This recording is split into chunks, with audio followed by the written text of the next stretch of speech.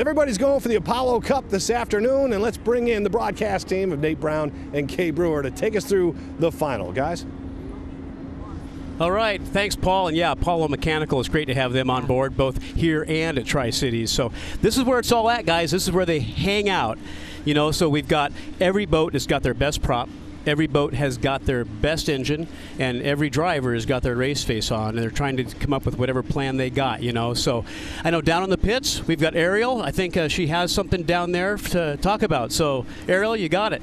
Yeah, I'm just down here right next to Goodman Real Estate where Andrew Tate is 851 points just coming into this race ahead of Corey Peabody going into this final.